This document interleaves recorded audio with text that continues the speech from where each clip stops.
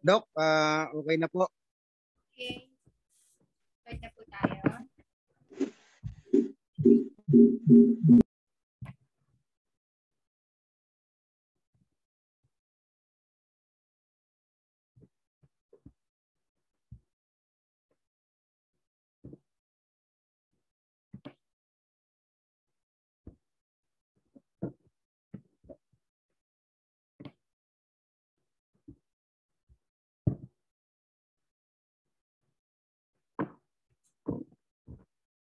Magandang umaga po ulit sa ating lahat. Ngayon ang ating pangalawang paksa ay paupo sa Flock Health Management.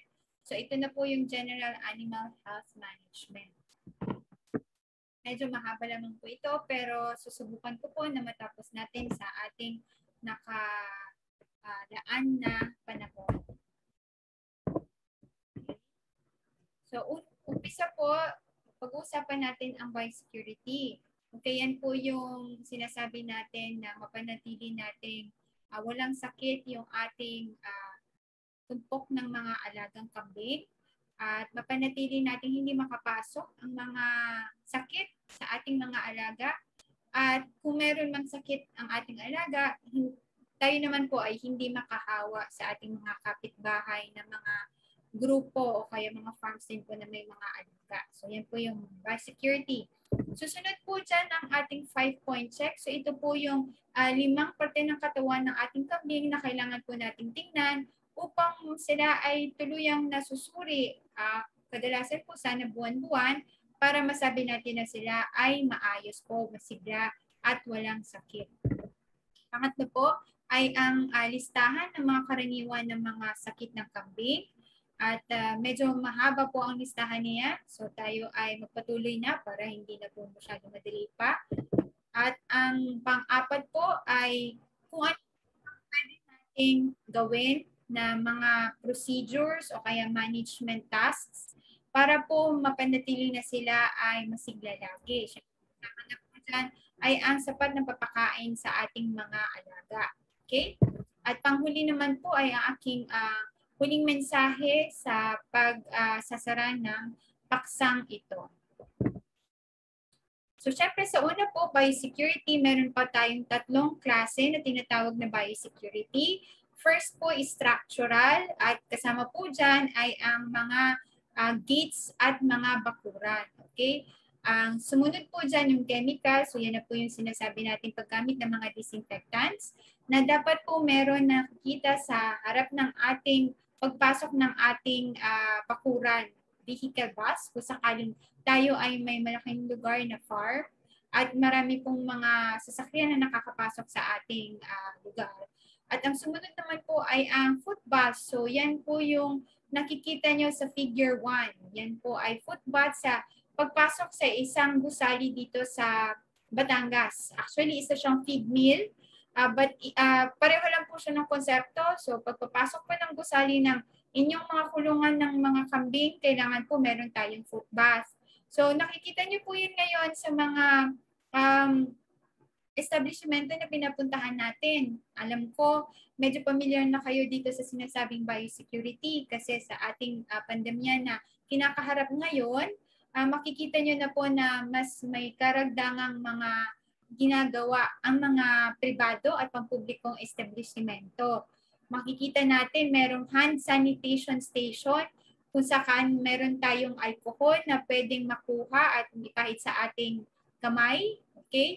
Tapos merong pang-check po ng temperatura para masiguro na walang sakit na papasok doon sa gusali. At yung iba po meron pang foot bath. So, nakuha po yung konseptong yan sa pang-agrikultura o pang-veterinaryo ng mga physician. So, yung mga ating uh, pamahalaan o mga ahensya na mamahala sa uh, pampublikong kalusugan o yung pantaon na public health. Okay? So sa atin sa mga farms, matagal na po yun na ginagawa. Nakuha po nila yung konsepto, konseptong yan sa atin. Maigi po na sa bawat gusali ng inyong mga kambing, meron po kasing mga iba't uh, kumbaga hiwa-hiwalay na bahay. Kaya dapat meron pong foot bath sa pagpasok po ng bawat gusali. kung ito man ay magkakarugtong, posible pa rin naman na bawat na pagpasok mo sa pinaka-main door ng bawat section, ay meron pa rin po nitong footpath para po hindi magkahalo-halo kung ano man meron pong mikrobyo galing sa kabilang gusali papunta dun sa susunod na gusali. Okay? Ang pang lima naman, ang pangatlo po ay ang biological. So ito na po yung halos tao ang ang kasama sa biological biosecurity. So dapat um, hindi po natin basta papapasukin ang kung sino man, okay? Sila po ay dapat uh, merong appointment o schedule. O kagaya po ngayon, magpapakita ka sa doktor, hindi po pwedeng walk-in, okay? Dapat meron po kayong um, schedule bago pa pa kayo magpakita sa building o sa poder ng inyong bibisitahing ano, doktor, okay? O kaya dentista. So kahit po sa mga clinic ngayon, no, hindi na po nagtatanggap ng walk-in, dapat po lahat ay nakaschedule na. Okay? Sa main building nyo naman po, kaya yung farm nyo, mas maigi po na medyo malayo po siya sa highway. Ang ibig sabihin lang po nito ay malayo siya sa um, mga dumadaang tao at mga uh, mga umaandar ng mga sasakyan. No? So, marami kasi yung pagkakataon, mataas yung pagkakataon na mataas yung paglipat ng mga microorganisms o microbio pagka malapit tayo, malapit tayo sa maraming tao at mga sasakyan. Okay? Ito naman po ang halimbawa ng isang progresibong kambingan dyan po sa Alaminos, Laguna.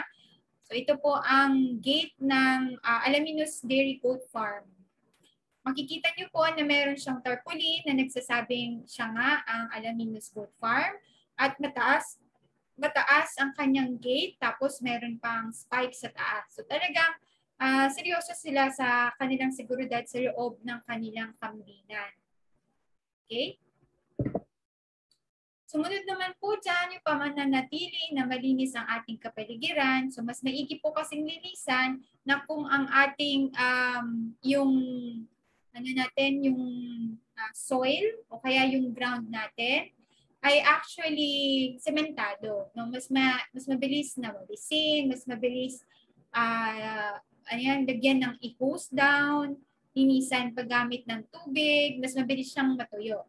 Pagka po kasi lupa lamang, pagka syempre nabasa, magpuputik, maglalate, di mahihirapan na matagal bago matuyo. Kailangan talaga ng mainit na mainit na panahon para matuyo siya.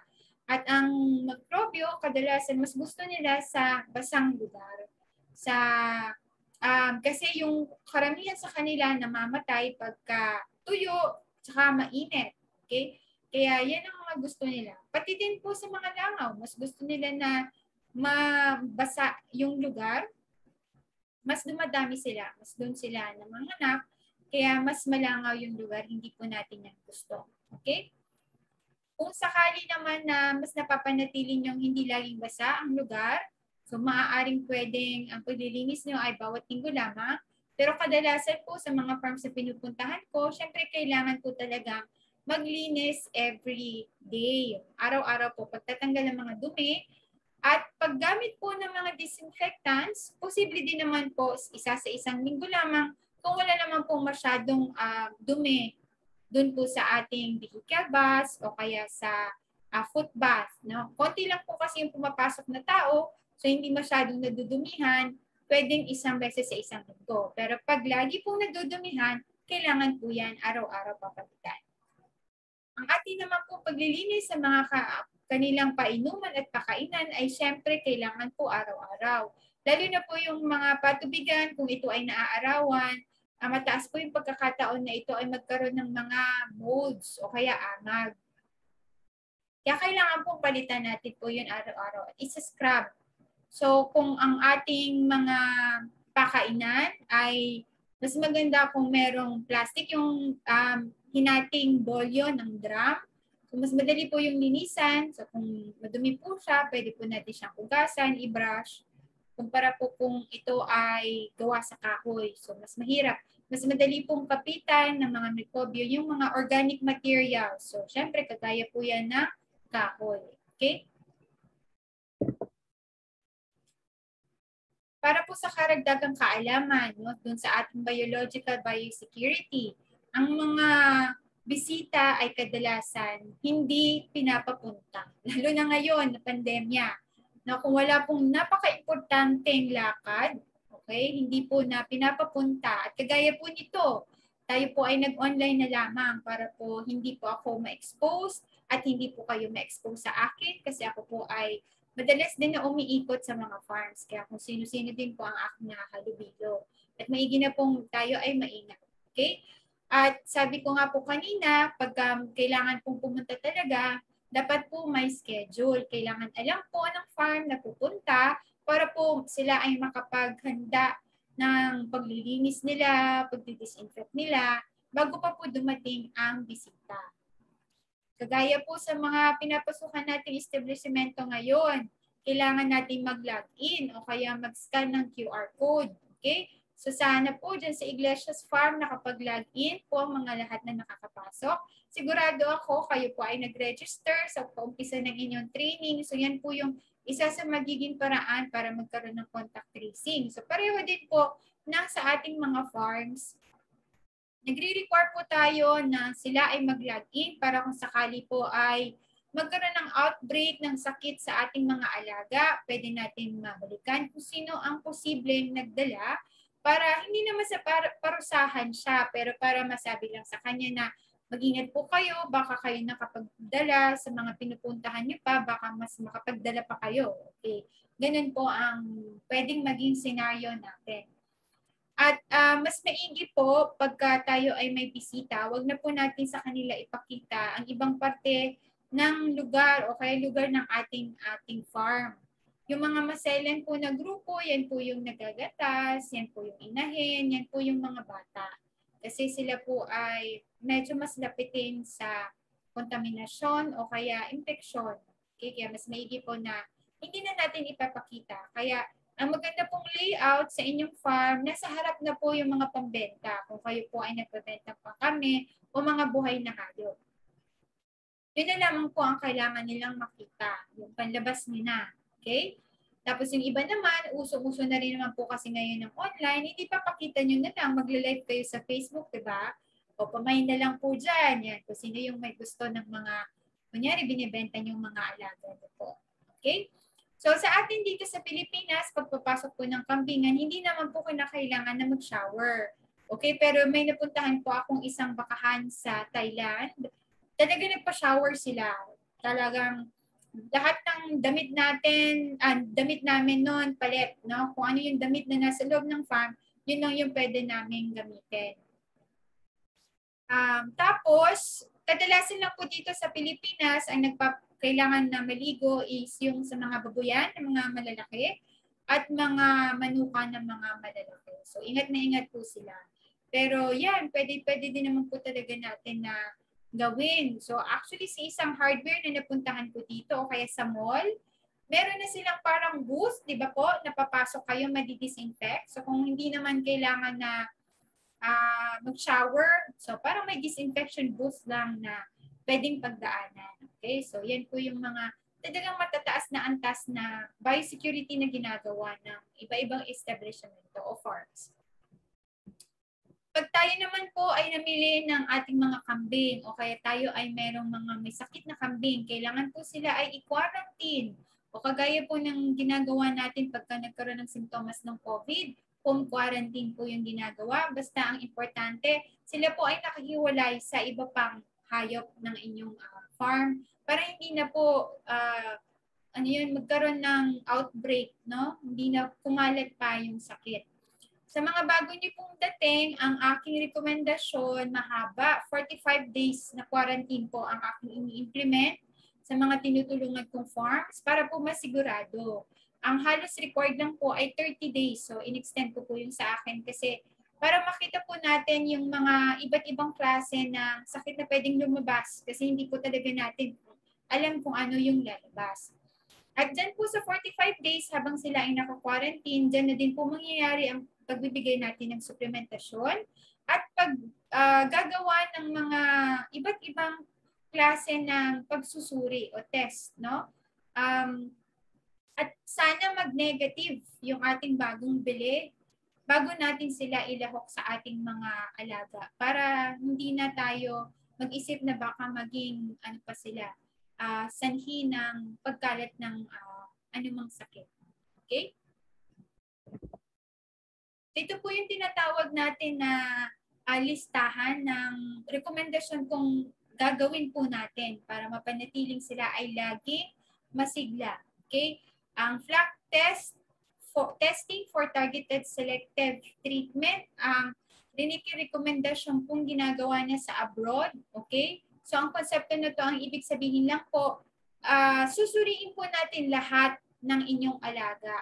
At kung sino lang po ang medyo alanganin, sila po ang ating gagamutin. So, medyo makakatipid po kayo dyan kasi iilan lang sana ang ating gagamutin. Okay? So, iba po yan doon sa ibang ginagawa. Ang sinasabi naman po doon, blanket therapy. Ibig sabihin, in, konti lang ang tinitest. So, parang baliktad, no? Konti ang itetest niya. Tapos, kunyari, pag nag-positive yung counting tinest niya, gagamutin niya lahat. So, mas ma mas mahal po yon no?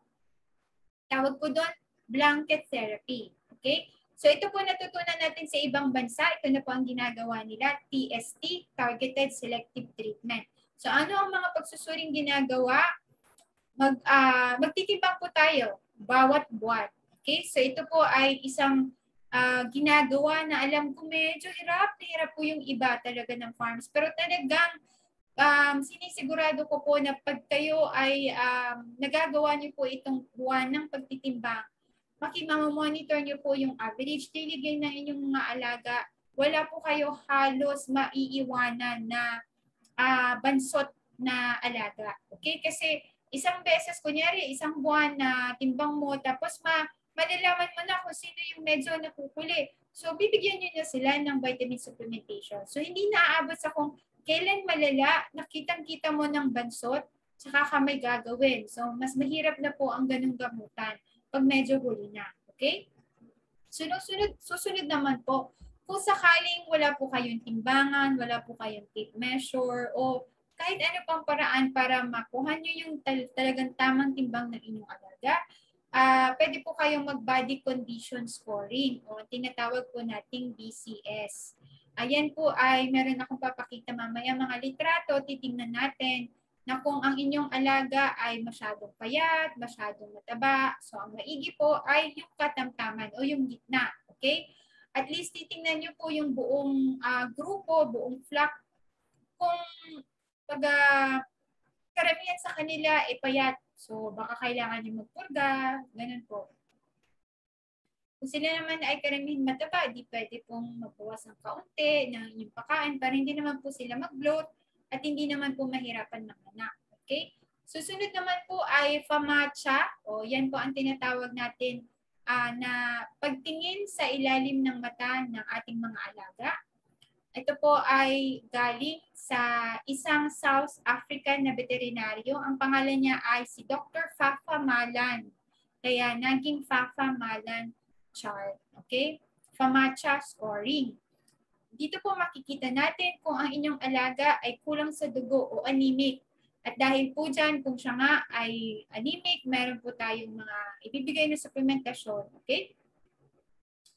Kung sakali naman na um, dahil, hindi pala dahil sa ano, parasitismo ang kadahilanan ng kanyang pagiging anemic, okay? So, maaaring pwede tayong kumuha ng dugo para mas malaman natin. Baka pala yung parasite o parasitismo ay nasa dugo. So, ang tinatawag po natin dyan ay blood parasite. At um, yun din po ay isa sa nakakasira ng mga red blood cells. Kaya po nagiging anemic ang ating alaga. Okay, so titingnan din po yan. Pero yung isa naman, parasitismo kadalasan, di ba? Makikita po natin payat, tapos syempre, yung mga bulate sa loob ng tiyan, isa na yun sa mga sumisipsip ng dugo nila, kaya sila ay nagiging anemic. Okay? At panghuli at ang pagsuri ng kanilang dumi o ang fecalysis na pwede po natin gawin tuwing ika-anim na buwan. Pwede maging strategy po natin dyan ay uh, bago tayo mag, uh, magpurga, yung susunod na purga natin, bago natin po yan gawin, pwede tayong mag fecalysis. Okay, para kung sakaling negative naman po ang lalabas sa uh, resulta, pwede po nating ipagpaliban ang pamumurga. Okay, so kung dati po ay uh, tuwing ika-anim na buwan, so pwede na lang natin siyang gawing kada taon. Okay, annually na lang po yung gagawin. Para naman po makatipid tayo sa dewormer na gagamitin po natin. Okay, so yan po yung isang strategy or kung uh, wala po kayong kapasidad na magpasuri ng kanilang mga dumi, kung papa mag, mag, maggagamit po kayo ng pamurga, di um, iba-ibang klaseng pamurga, iiputin po natin sila para hindi po magkaroon ng uh, pagbabawas sa kanilang pagiging effective o yung uh, the wormer resistance na tinatawag. Hindi na mabisa yung ginagamit natin pamurga kasi po ulit-ulit na yun ang ginagamit natin. Okay?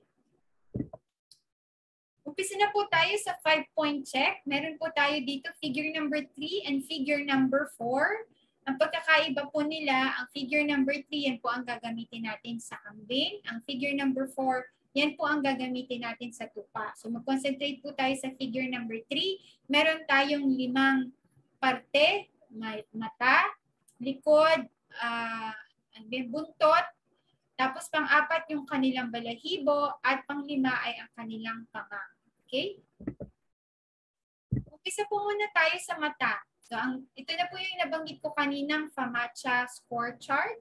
At meron po itong uh, grado, magpuumpisa sa isa hanggang lima. At kadali, ang karaniwan po na sanhi ng pagiging anemic ng ating alaga ay dahil sa parasitismo. Ang pinakamadalas po na nakikitang bulate ay ang barber pole o ang Hemonchus cortortus. Posible din naman po na yung bulate sa atay o ang liver fluke, lalo na kung kayo ay nasa lugar ng nasa palayan na maraming kuhol. So doon po kasi nanggagaling yon no sa kuhol na kontaminado na makain nila, yan, pupunta na po yung ano, bulate sa kanilang atay. Tapos sisirain po yan, magigisa ng aninit. Yung isa pa pong bulate ay hookworms. Ang mga bibig po niyan ay may mga hook. Okay, so kain. Kinakain nila, inangat-ngat nila yung lining ng bituka o kaya ng chan ng ating alaga. Kaya po dumudugo. Okay? Kaya tatai sila ng may dugo. So yan po yung isa. At magiging sila ang anime. Okay? Tingnan po natin to. Yan po ang pagtingin. Yan po ang sinasabi nating FAMACHA scoring. So number one po, ang pinakamaganda. So wala tayong picture ng number one. So ang pinakita ko lang po yung baka medyo malito kayo, which is FAMACHA score 2, 3, at 4. So yung FAMACHA score, yan po ang very good. So very, very red. Mapulang mapula. Ang katamtaman po ay FAMACHA score 3. Mapula pa rin siya pero medyo pink na lang. Pink na lang. Okay? Ang hindi po maganda, mag-umpisa sa FAMACHA score 4, maputla. At syempre, isipin nyo yung FAMACHA score 5, talagang puti na po talaga. Okay? Nagkaroon po ako ng maraming uh, pasyente na talagang pagtingin ko puti na. Mamamatay po yun. Ang dapat na gawin po dyan ay blood transfusion. So parang wow, napakabongga naman. Parang pantao, yes. Pareho po siya ng pantao. Kasi ano na po siya eh, uh, emergency kailangan po masalinan ng dugo kasi mamamatay po yun ng mabilisang mamamatay. Okay? Meron po tayong um, ginagawang isa pang lunas, kaya lang po matagal. Ang ginagawa ko po noon, syempre yung sikat no, sa mga marunong na pong mag-alaga ng kambing, iron dextran, kasi sa baboy yun din po yung ginagawa. At vitamin B supplementation at probiotics ang ang ano nga lang po, matagal. Matagal po yung effect kasi parang gagawa pa po ng panibagong red blood cells yung katawan ng ating alaga. At hindi po yan mangyayari ng magdamag. So, meron po akong mga kaso na talagang dalawang buwanan na paggagamot. Hindi pa rin po talaga dumating sa o umabot sa FAMACHA score 1. No? Mabagal po ang progreso from uh, FAMACHA score 4 or 5. Tapos, ipapababa mo na mas mapula to FAMACHA 3 or 2. Kaya pagka po um, mabilisan na paglunas, blood transfusion po yung gagawin natin. Saan tayo kukuha ng dugo? Doon sa iba nating kambing na FAMACHA 1.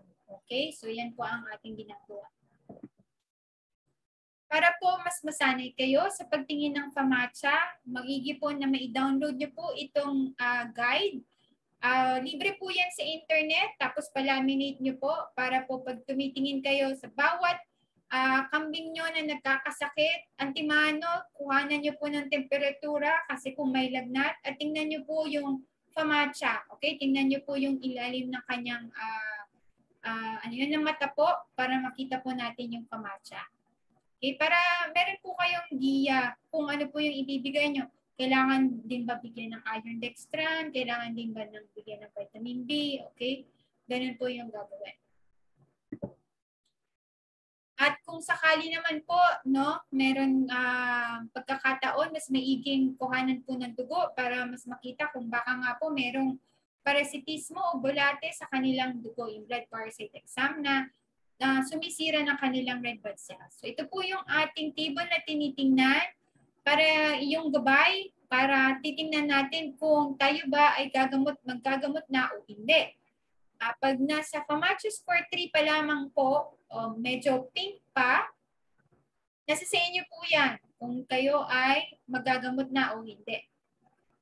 Paano nyo po masasabi kung payat yung inyong alaga, tapos number 3, kung ako po magagamot na?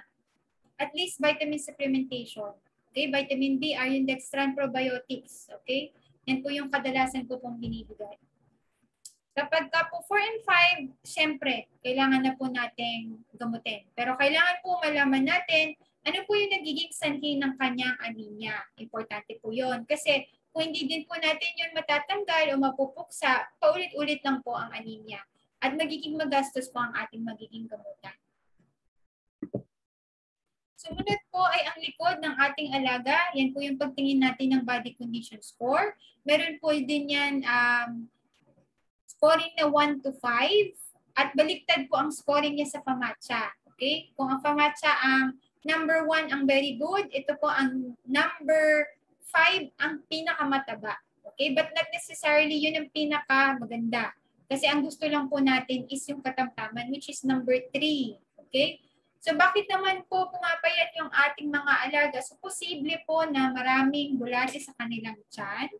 Uh, makikita po natin madalas dyan yung, yung mga nakalistang mga bulate. Okay? Yan yung pagtingin, no? Meron po tayong number one, body condition score, napakapayat. So yan yung pang international model na nakikita na po natin yung ribs kahit sa malayo pa lamang. At lalo na po pag ating kinapa, talagang ramdam na ramdam natin yung mga ribs. Wala na pong uh, bumabalot na taba dun sa kanilang mga ribs. So, nakakatakot na po ito. Pwede po itong mamatay anytime. Okay? Number two, payat. Okay, pero hindi masyadong payat. May kaunting taba na bumabalot sa kanyang mga ribs. Okay? Pangatlo po yung ating gusto na good for good condition. Katamtaman lang. Ito po yung mas magandang buntisin. Okay? So, ano, uh, bilugin na din naman po siya tingnan. Okay, tapos kung titingnan mo lang siya sa malayo, hindi niyo po mahahalata yung ribs. Okay? Basta po from malayo, nakikita niyo na yung ribs, hindi na po yan 3. Okay? Mas mababa na po yan sa 3. Number 4, fat. Yan na po yung umpisa noong mataba okay lang naman po na medyo lumampas ng 3, basta yung 3.25, 3.5, ganun po. Pero kapag 4, uh, ah, kailangan na po natin medyo mag-diet para mas mabilis po siyang mabuntis. At ang number 5 ay ang napakataba. So mahirap na po itong mabuntis at kung siya man ay nabuntis tapos kaya nga pinakain ng marami para po tumaba, maaari po siyang mahirapan mga anak. Okay? Kasi uh, yung sipit-sipitan niya parang nabab- nababalutan ng mga ano yan, taba. Okay, so mahirapan pong ilabas ng kanyang anak. ito naman po yung pagtingin sa likod, no?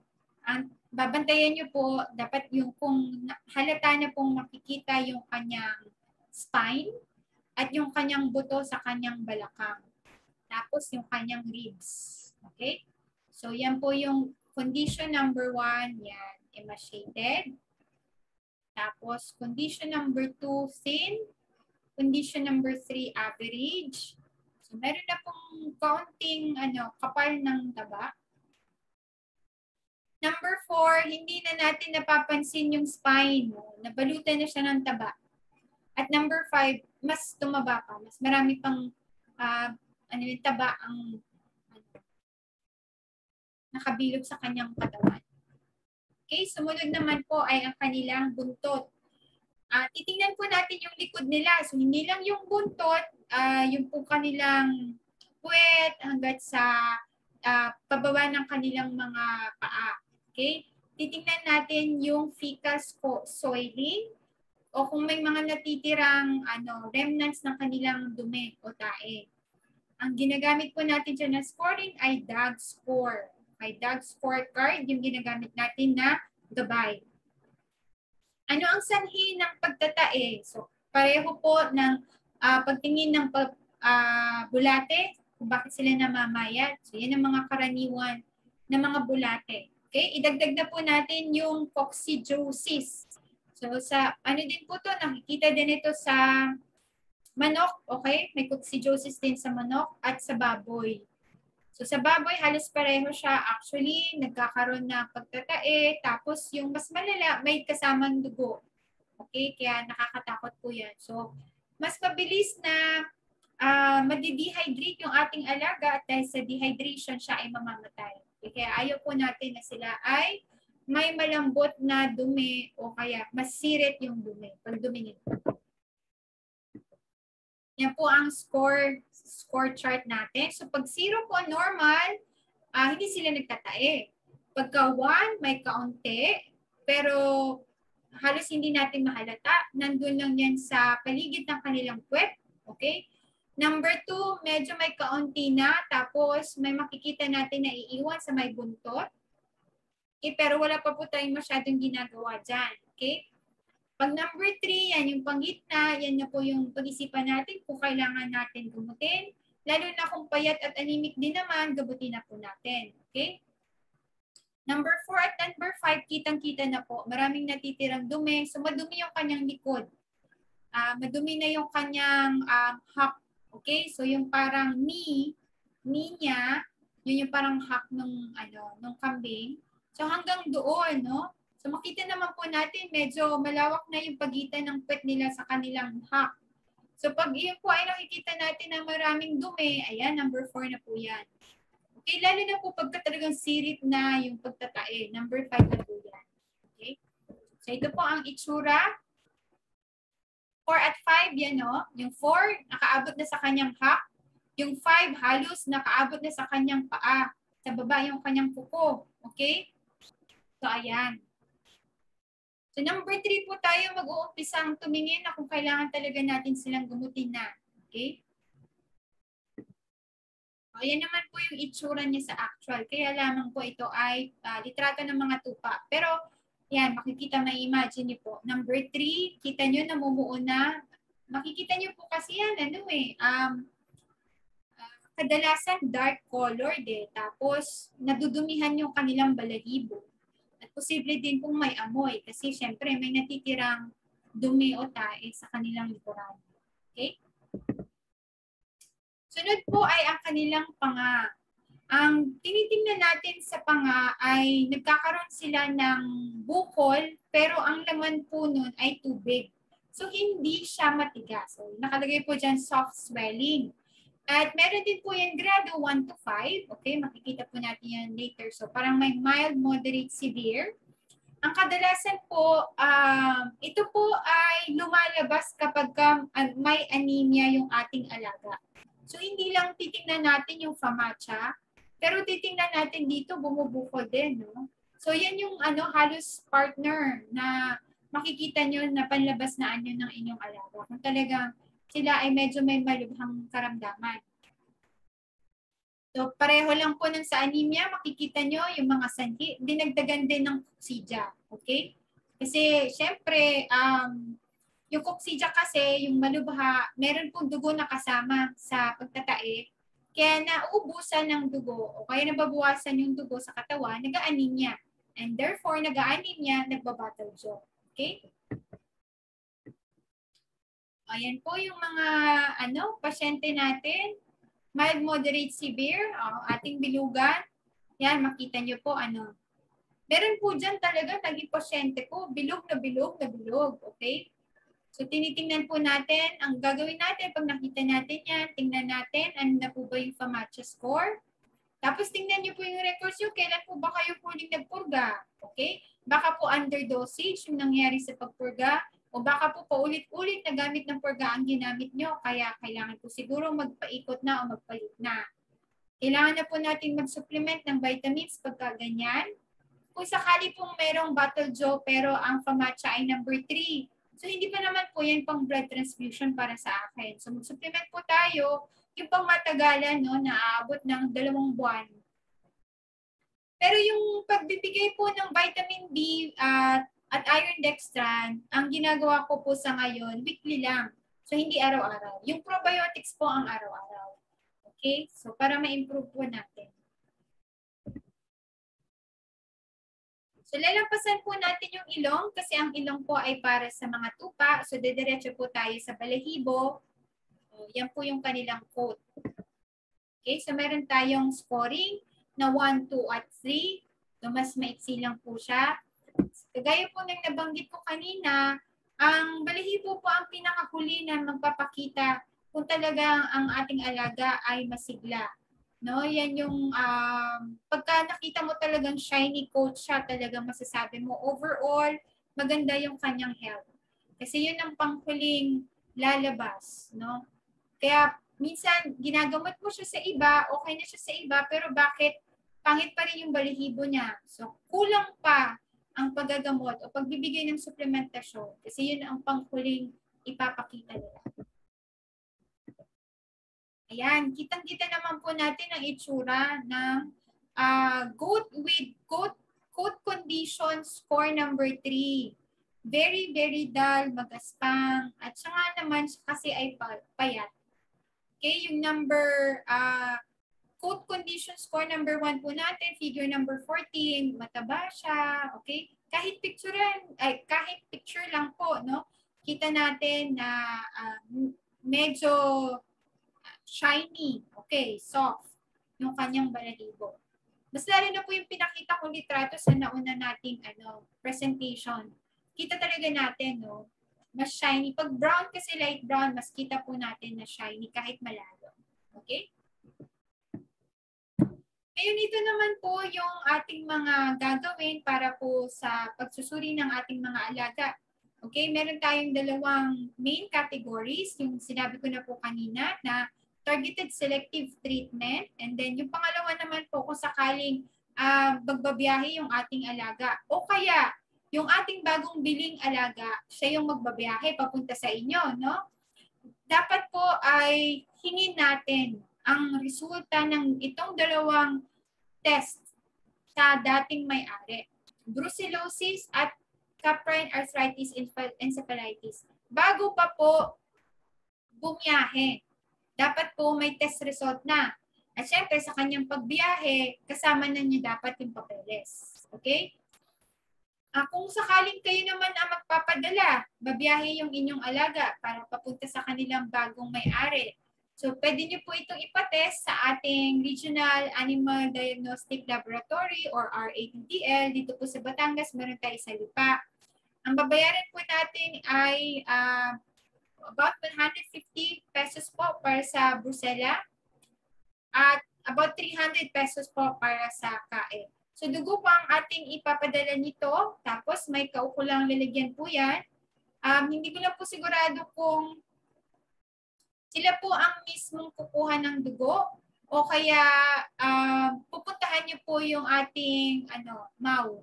Okay, yung Office of the Municipal Agriculturist kung kayo po dyan sa Malbar o sa munisip, munisipyo po ninyo. Kapag ka nasa syudad kayo, the City Veterinary Office, may request po kayo, sila po yung kukuha ng dugo. Okay, so yan po yung pwede natin gawin. Um, ito po ay aking um, hinihingi sa inyo alam ko po meron po dyan talaga nakakapagpadala ng mga kambing na hindi na po dumadaan sa ganitong testing. Okay? Pero para po tulong niyo na po sa amin, sa mga veterinaryo, sa ating gobyerno, na ipatest po natin kasi para hindi na po kumalat pa. Okay, kagaya po ng sa pandemic natin ngayon, sa COVID, bago ka makapunta sa ibang lugar, hahanapan ka ng test. At very strict po sila.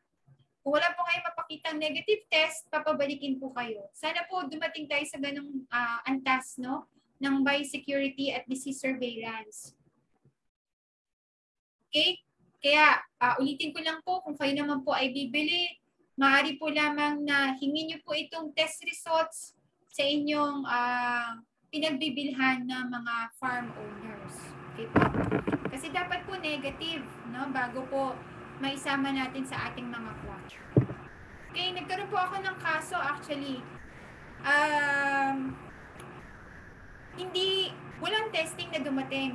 Okay, tapos talagang um, nagmatigas po ako, kailangan meron po silang testing. Tapos pinatest po natin, nag-positive po ng KAE. Yung KAE po, Uh, wala pong lunas dyan kasi virus po yan. Pagka meron po positive ang inyong alaga, um, ang recommendation po niyan ay kaling. Huwag na po nating uh, ibenta pa ng pambulugan kasi naililipat po yun sa anak. Okay? Nalilipat sa anak. So para mawala na po yung sakit na yan dito sa Pilipinas. Dahil po doon, di, hindi siya pwedeng sumama. So sayang, no? Bumili po ng medyo mahal, yung kambing, tapos positive pala, hindi po niya magagamit. So, na, nasayang po yung pera. Kaya mas maigi po na mapatesting po natin bago po natin isama o bago pa po dumating yung mga nabili natin sa ating bakuna. Okay? So, sumunod po, ito na yung mga karaniwan na mga tinitingnan natin. No? Hindi pa po ito sakit, pero karaniwan na disorder na nakikita natin So, posible po, yan po, meron tayong mahihinang anak. Kulang sa nutrisyon kasi hindi po naalagaan ng maayos yung inahin. Kaya kailangan mas ma- maalam po natin kung kailan nabulugan at kailan pa po manganganak yung ating uh, inahin para mabigay po natin yung sapat na nutrisyon. Okay? So, buwan-buwan, ang recommendation ko po dyan, buwan-buwan na pagbibigay po ng vitamin A, D, E, sa inilin po 5 ml, ituturok. Makakatulong po yan sa kanyang fertility, okay? So sa kanyang overall uh, general health and syempre sa kanyang mga pinapalaking anak sa loob ng kanyang matres. Okay? Tapos, um, kung hindi pa po siya na deworm, di, pwede po siyang mapurga, pero uh, iilang klaseng pamurga lang po ang pwede sa mga butis at bawal pa po purgahin pagka bagong uh, pagbubuntis pa lamang. So pagka medyo malapit ng mga anak, mga one month to two weeks bago po ng mga anak, yun, pwede po tayo magpurga. Para po medyo mas malinis yung gatas na ipapadede po nila sa kanilang mga anak. Okay? Ito na po yung nasabi kanina o naitanong ni Ma'am Teresa. Uh, yan pong parang bakit uh, lasing maglakad yung kanilang barako. Ayan po, posterior paralysis, impaired box. box. Nagkukulang po sa calcium. Okay, dahil sa kanilang pagsasampa-sampa, no, kailangan kasi lagi talagang malakas ng kanilang uh, mga buto. At kung hindi po nabibigyan ng sapat na calcium, magnesium, yan po yung mga minerals. Okay? sa ating mga alaga, posible po na parang gigewang-gewang sila. Kaya ang rekomendasyon ko po dito, magbigay po ng apog, okay? 10 grams araw-araw. Maintenance for life na po yan, okay? Hindi po yung, ano lang, um, kung kailan siya nagbe-breed, tsaka, okay? Maintenance na po yan. Pwede po natin bigyan kahit hindi barako, no? Basta yan po yung mature dose, 10 grams, inahin, dumalagang malaki, ganyan. Pagkabata pa po, growing stage, pwede po pong 2 to 5 grams. So, depende po sa laki ng inyong alaga. Sumunod po ay sugat o yung trauma. Ang ayaw lang po natin dyan, pag hindi po nalilinisan ng maayos araw-araw, pwede pong langawin at pwede pong magkaroon ng uh, magots, okay? O yung bulato, bulate na dulot ng mga langaw. At itong bagots ay kinakain po nila yung laman. Okay? Dahil po dyan, pwedeng magkaroon ng lagnat ang inyong alaga, pwede silang mamatay. Okay? Nagkaroon na po ako ng maraming kaso niyan. Hindi maayos yung tagapag-alaga, tapos nakita na lang natin, ayan, ang laki-laki na ng sugat, tapos kinakain na. So kahit tinanggal ko po lahat ng maggots, talagang affected na po yung uh, yung pasyente, namatay po siya after two days po ata yun. Namatay siya. Paano po ba yung tamang paglinis? Okay? Ang wound management po, meron tayong tatlong lahok dyan. Sa unang pangatlong araw, ay unang tatlong araw, okay? Unang tatlong araw ng paglilinis, meron po tayong ago-oxinada na ginagamit.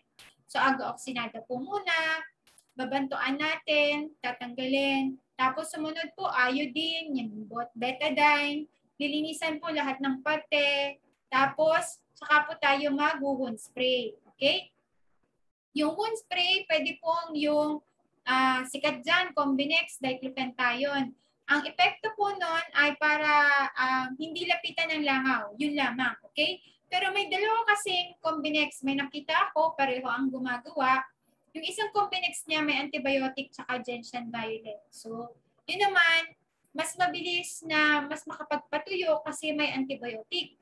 Kaya lang, hindi po yon ang maire-recommenda kong gamitin nyo na Combinex kasi yung Gentian violet po at yung um, antibiotic, uh, hindi po siya uh, pinapayagan na ng NMIS na gamitin sa mga hayop na kinakain natin. Okay? At ang kambing bilang isang food animal, so meron tayong makikita dyan na herbal wound spray. So mas maiging yun po. Kasi hindi siya based sa gentian violet. Yung gentian violet po kasi ay carcinogenic. Okay? So maaring makadulot ng cancer sa mga, ayan, sa kalaunan. Okay? So, ulitin ko lang po, first 3 days paggamit ng agua oxinada, tapos hanggat sa matuyo po yung uh, sugat o maghilam yung sugat, yun araw-araw po yun, na merong iodine saka nung wound spray. Sumunod po yung bloat, okay?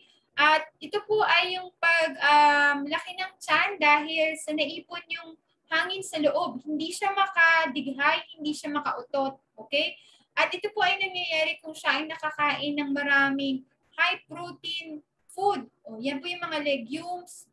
Kunyari po mani-mani, centrosima, ipil-ipil. Yan po yan. Pag napadami ang pakain nyo, o kaya na, sa umagang-umaga pa lang, napakain nyo na ng madami, mag-bloat po sila kadalasan. Okay? Pag napadami din po ang kain ng concentrates, kadalasan nangyayari po ito sa mga barako kasi sila yung pinakamalaki sa kanilang grupo, sila yung nangbubuli ng iba para makakain sila ng marami. Okay? Dahil po dyan, sila ngayon ay nagbo-bloat. Paano po ito maaayos? Okay? So, dyan po sa kaliwang parte ng kanilang tiyan. Okay? Dyan lamang po ang ating pagturok. Okay? Ang gagamitin po natin dyan, yung ating karayom na malaki ang butas. So, hindi naman po kinakailangan ganyan talagang syringe. Yung ginagamit po natin kadalasan sa baboy, yung pong ano, metal, ang maganda po dyan is yung gauge 16. Okay? Yun po kasi yung pinakamalaki na nakikita natin na butas. Pero kung meron pa po kayong ibang klase ng karayom, ang meron pa nga po dyan mas maganda talaga true car ang tinatawag. Yun talaga yung mas maganda kasi pwede po nating iwanan yung cannula na nakatusok sa loob ng tiyan para tuloy-tuloy po na lumabas yung hangin.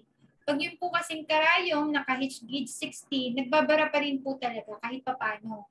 Yung pong kinain nila ng mga damo, posibleng magbara, kaya hindi po makakalabas. Kaya ang mangyayari po niyan, tusok po tayo ng tusok. So hindi din po maganda.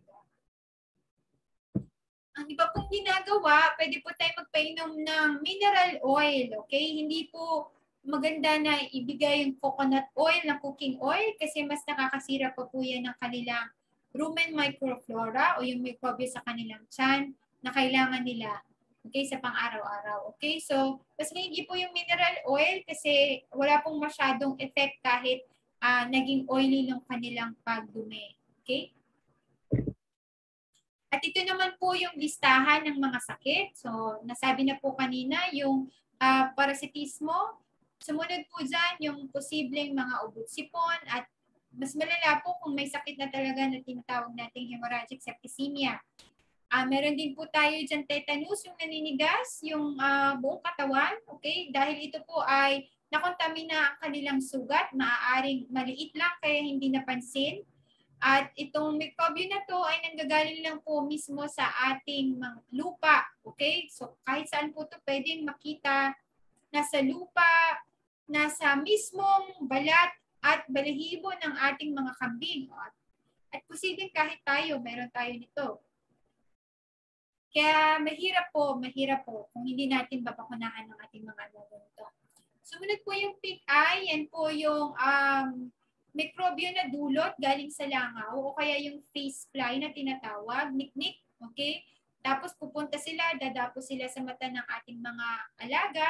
Ayan, nagdadala na sila ng mikrobyo. Magkakaroon ng parang katarata o opacity. Mamumuti yung kanilang mata. Okay, sumunod naman po yung Cautious lymphadenitis, ang tinatawag po natin na CL. Uh, parang meron po silang um, isa hanggang sa maraming ano yon um, pigsa sa kanilang panga. Okay? Dito po kasi yung kadalasan na gusto niya na uh, ano ba yun? Kulane, no? Na tinatamaan dito sa may leeg. Kaya dito po niyo siya madalas makikita. Sumunod naman po is yung ORF, no? Madalas po ito at ito po ay simple lamang kasi siya ay um, nawawala sa loob ng isa hanggang dalawang linggo. Kaya lang nakakahawa po sa tao. Kaya kailangan po mag-gloves tayo. At wala po itong lunas. Kaya medyo papatasin lang po natin ang resistensya ng ating mga alaga. At ito ay lubhang nakakahawa, parang Delta variant. Okay? Kaya kailangan po ito ay ihiwalay pagka nakita po natin sa ating mga pasyente. Sunod po, ito ay malala. Nabanggit ko na po kanina. KAE, Caprine Arthritis Encephalitis. Ito po ay virus, kaya wala po tayong uh, treatment para dito hanggang sa ngayon. So marami na po ako nabanggit tungkol sa sakit na to kanina. Okay, sumunod po yung coccidiosis o in general po yung pagtatae. So yung coccidiosis nga lang po, posibleng may kasamang dugo, kaya mas malubha po siya. Okay? Tapos yung panghuli po, kung ang inyong kambing ay ginagatasan nyo, posibleng-posible pong magkaroon ng mastitis o pamamagan na kanilang dede. Okay? Kaya titingnan po natin yan. Kung uh, sila ay naglinalagnat, ayaw magpadede, hindi nakakapagbigay ng tamang uh, dami ng dede, so yan po ang posibleng Oh, isa lamang po yan sa klase ng uh, bulate na pwede natin makita sa kanilang tiyan. Okay? Ito po ay mga buhay. So iba pa po yan na kunyari, nagpasuri tayo ng kanilang dumi. Makikita natin ng mga itlog nandun. Okay? So pag ang inyong alaga ay talagang tumae ng mga patay na ganyan, talagang isipin nyo na po na marami pa pong nasa loob na buhay.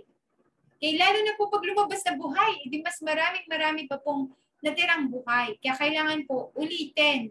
Okay. So hindi po ibig sabihin na pag wala po kayo nakitang buhay o patay ng ganyang malaki na nabulate, eh wala pong bulate kasi posible pong mga itlog ang makikita po doon sa loob ng tiyan. Kaya kailangan pa rin po sigurong magpurga. Okay? So kaya maganda po yung nagpapasuri din tayo para makita natin kung ano yung estado. Yan po yung respiratory. Karaniwan makikita natin yung ilong, no, meron pong lumalabas, uhog. So, may pa po yung walang kulay, pero pagka ito ay uh, kulay dilaw na, so malala, na po yun kasi meron na po siyang pus. At kinakailangan na po mag-antibiotic at kadalasan po nito ay meron na ding lagnat. Okay, meron na ding lagnat yung ating alaga. Maraming sanhi nito, pwedeng isa yon yung uh, common na colds, okay? Pwedeng hemosep, okay? Tapos pwedeng uh, pneumonia, ganun po. Ayan po yung aking naging kaso ng tetanus. So, syempre sa kasamaang palad, siya po ay sumakabilang buhay na after one day. So, mabilis po ang epekto ng tetanus na yan. Ang sanhi niyan ay Clostridium tetani makikita nyo na lang naninigas yung kanyang dila, mailalabas niya, hindi na niya naigagalaw ang kanyang bibig. Okay? Pag ito po ay ginagatasan, so syempre, hindi na siya makakapagpagatas at hihiga na lang siya, hindi na siya makakatayo. So paano po natin yan maiiwasan? Meron po tayong, ano dyan, uh, bakuna. Okay? Bibihira po na may kumagaling sa tetanus. Kaya pagka meron na kayong kaso ng tetanus, kahit po gamitan nyo ng antibiotic and said, no? Mahirap, mahirap pa rin po silang buhayin. So wala pa po ako naging pasyente na nabuhay kahit binibigyan ko na po ng antibiotic, ganyan-ganyan, vitamin supplementation, everything. So meron pong naging reported case sa India na napagaling niya. So kahit po ginaya ko yung ginawa niya, sa pasyente ko hindi pa rin po naging successful. Kaya talagang mas maigi magbakuna po tayo kaysa hayaan natin magkaroon sila ng ganito. Ayan po yung isa ko pang pasyente. Kita niyo nakalawit na yung kanyang dila. Ito naman po yung pink eye. Ito pong nakikita niyong litrato, malala na po ito kasi meron na pong ulcer ang kanyang uh, mata o yung uka na sinasabi. Gagaling po ito sa loob ng uh, isang buwan. So matatapalan po yung ulcer na yan pero hindi po completely mawawala yung puti. May matitira pong tubo. Okay, so makikita niyo po yung paligid ng kanyang uh, mata mapula. Okay? Kaya, ayan, medyo makati po yan. Makati, masakit. Kaya, pipikit-pikit po ang ating alaga kung meron siya niyan. Paano po yung may iwasan? Panatilihing walang masyadong langaw sa inyong kapaligiran. Walang masyadong liknik. Okay? Para mangyari yon kailangan hindi laging basa ang inyong lugar, ang kanilang pinagtutulugan. Pwede pong uh, mabigyan ng lunas to, antibiotics, yung eye drops po natin na antibiotics, so pwede din naman po yun. Ito na po yung sinasabi nating CL. Bibilugan po natin ngayon. Yan. So tatlo. Okay, nakakatakot po ito. Pag ito ay nakita po natin sa ating um, mga alaga, okay, posible kasi may iba pang sanhi ng pigsa. Pero para masabi natin na CL talaga, yung mikrobyo, kailangan po mag, magsumiti po tayo ng sample nung, nung nana, okay, sa ating RADDL para malaman natin kung talaga ay iyon ay tissue symphodinitis o hindi. Kasi kung ito ay Corynebacterium pseudotuberculosis, kailangan po talaga siyang alisin sa inyong uh, grupo, sa inyong farm. Kasi talagang kakalat po yan. At mahirap po yan gamutin kasi pabalik-balik po yan. At syempre, masisira po yung mga laman kung saan laging tumutubo yung mga piksa na yan. Okay? O, ayan po yung isa. May, may mga naging kaso po ako na parang laging dun sa grupo nila, maraming laging may ganyan. So titingnan nyo din po, baka naman lagi kasing tumatama. Okay? sa kainan nila, laging may kawad pa lang, nakausle, so doon sila tumatama. Kaya nagkakaroon ng nana. Kung sigurado po kayong wala namang ganun, mas maigi, pagka meron na pong nahinog, na ganyan na pigsa, kuha po kayo ng sample, padala niyo po sa laboratory. Yan naman po yung ORF. Nakikita niyo may mga butlig-butlig po sa kanyang bibig. Kadalasan po sa gilid ng bibig. Dito, mag-umpisa po yan may flakes, parang dandruff, no? Puti-puti. Tapos bilog-bilog na siya. So poxvirus po yan. So pareho ng virus ng ating warts. Pareho sila ng pamilya. So mag-ingat po tayo sa paghahawak niyan kasi nakakahawa po yan sa tao. Kailangan po maghugas ng kamay, mag-gloves, kung sakali pong kailangan natin hawakan itong pasyente. Okay, ang ginagawa ko lang po dyan, iodine, saka wound spray. Okay, wound spray. Maganda po yung herbal wound spray uh, para mas mabilis pong matuyo. Okay? Pero kung kunyari ayaw nyo pong gamutin, ang importante may hiwalay, in 1 to 2 weeks po mawawala din siya. Okay?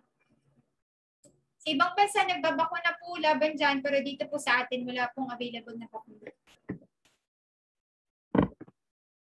Yan naman po yung isa pang klase, no? Mamamasa-masa siya. So, posible siyang kumalat hanggang sa ilong, pero kadalasan po makikita natin sa bibig. So, sa mga malubhang kaso po nito, maaaring uh, apektado ang kanilang pagkain, kaya pwedeng sila ay mamalat. Ito naman po yung kain, makikita natin na bukol ang kanilang tuhod. So, may arthritis. Okay? Tapos may naging kaso po ako na nag-positive sa KAE, pero maganda yung katawan niya. pero nandun sa dugo yung kanyang yung virus na ito. Ang pinakamalala po nito, magsisisure yung ating uh, hayop kasi may encephalitis na mamaga po yung kanyang ano, utak.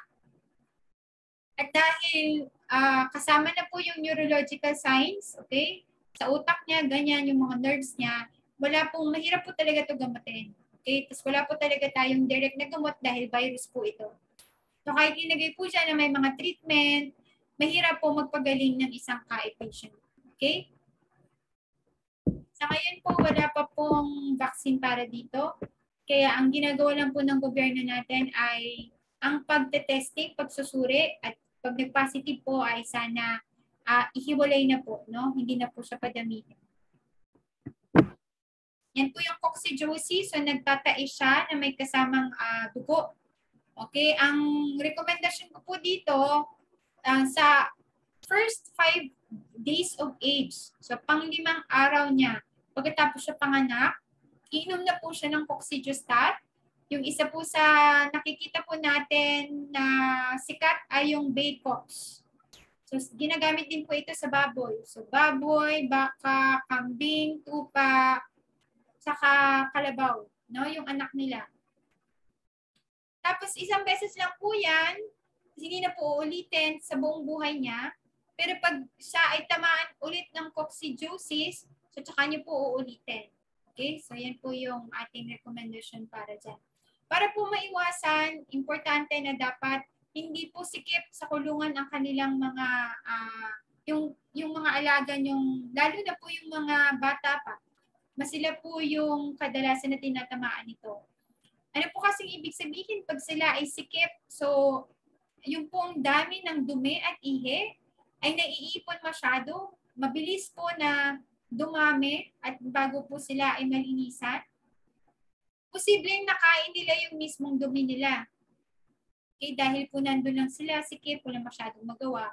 At dyan na po nag-umpisa yung coccidiosis. Okay? Kaya panatiliin po nating malinis ang kanilang kapaligiran. At ang panghuli naman po ay ang mastitis, no? kung kayo ay nagagatas. Marami pong sanhi ang mastitis, iba-ibang mikrobyo at meron din pong mycoplasma at virus. Pwede po siyang maglagnat at uh, maging malungkutin, pwedeng ma-dehydrate. Tapos yung kanya pong uh, dede, kung malalang malala na, mag-ibang kulay na. Yung magpula, pwedeng yung mas malala, maging berde. Okay, kasi yung karne ay nabubulok na. Okay, so ayaw po natin mangyari yon At pwedeng pwede po itong ikamatay ng inyong alaga. Ang kagandahan dito, uh, pag mikrobyo lang, yung hindi pa masyadong malala, mataas naman po yung pagkakataon na gumagaling. Okay, gagamit po tayo ng antibiotics, tapos anti-fever, ganyan po. Tapos pag dehydrated na, kailangan po talagang swarahan ng ating pasyente. Okay?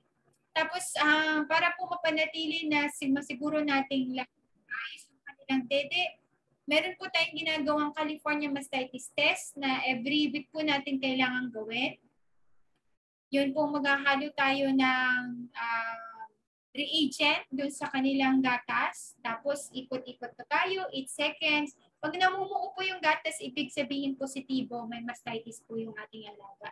Okay, so simpleng-simpleng paraan lang po yun. Pwede-pwede tayo ang gumawa para malaman natin na wala mastitis yung ating alaga. Ipapakita ko po sa inyo ngayon ang isang mastitis patient po from last year na gumaling naman po after na ginamot po natin. Yan po yung parang nana na lumalabas. Matigas po yan. Tapos, parang keso pero ang baho-baho po talaga. Kaya kailangan po naka-gloves yung uh, nagmi-milk out sa kanya. Naghihilis ng kanyang dede.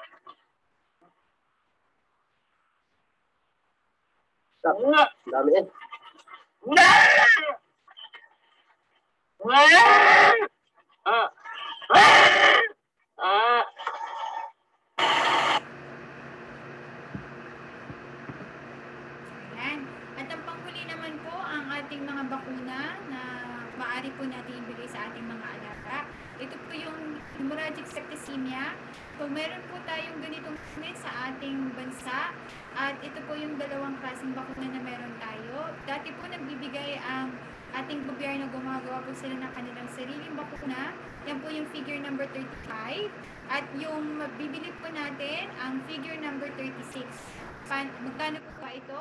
Ang isang shot po ay nagkakahalagang mga 50. Okay, 50. Kailangan po ng dalawang ah, pagbibigay bago po yung taon ng pagbabakuna, yung booster shot.